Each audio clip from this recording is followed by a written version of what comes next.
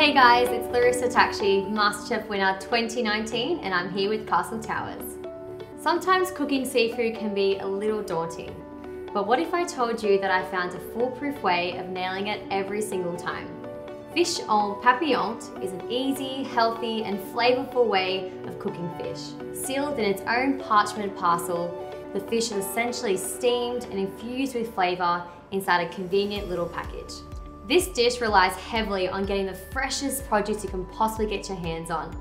So naturally I headed down to Castle Towers to visit some of the fresh food stores to grab all of my ingredients. Okay, so here we have some beautiful snapper from Costi's. I've got some fresh herbs and some fresh vegetables from Fresh World, and I've got some seasonings from Coles Supermarket. Okay, let's get cooking. So we're gonna start off with our marinade. I've got beautiful olive oil here, some fresh dill, that I've just chopped up really roughly. Fennel seeds, just a nice generous amount of fennel seeds. Then we've got some chili flakes, and of course the most important part is sea salt. Okay, so we're just gonna stir this till it's nicely combined. Okay, so now we've got some lemon zest to add to this marinade. Lemon, herbs, olive oil is a perfect combination for your fish. We're gonna stir that through again, and now we're gonna add some of our vegetables. So I thought fennel would be a perfect combination with the fish. So in goes some fennel. Here I've got some kip potatoes that I've already parboiled and just slice them just like this. So that goes into the bowl as well.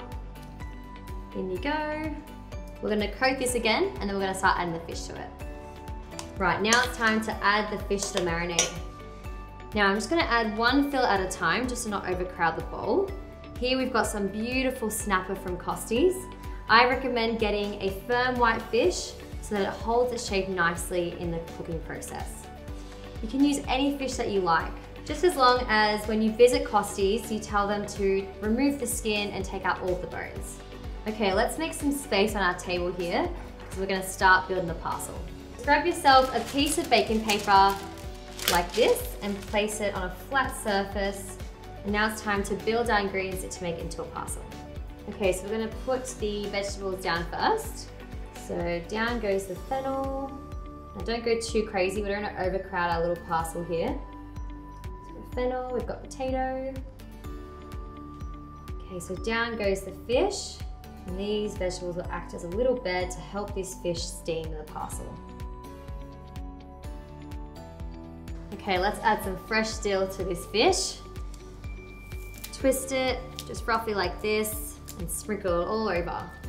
Feel free to use any other herbs that you have in your fridge or any other flavor combinations. You can do parsley, you can do fresh mint, or even coriander if you're doing an Asian style fish.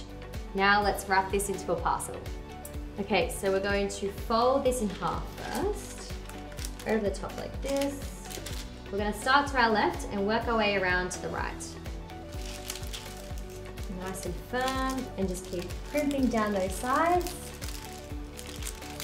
It's twisting and turning and pushing down. Now this part here, you could add a splash of wine or a splash of stock. But in this case, I don't think we need it, and I'm gonna keep sealing this up. Now that's all sealed in. I'm gonna pop this onto a tray and then into the oven. Okay, so this has just come out of the oven. It's been there for roughly 10 to 12 minutes at 220 degrees. And now it's time for the magical reveal. Okay, now for the toppings. So let's start off with some sour creme fraiche. Gonna get some salsa verde, some capers, little pops of acid. I've reserved some of that marinade, so I might drizzle that on top as well. Of course, we need to season with sea salt. And last but not least, some fresh herbs. So again, we're gonna go with dill, and of course some tarragon leaves. And there we have it, fish en papillote, perfect for a family weeknight dinner or to impress some of your dinner guests.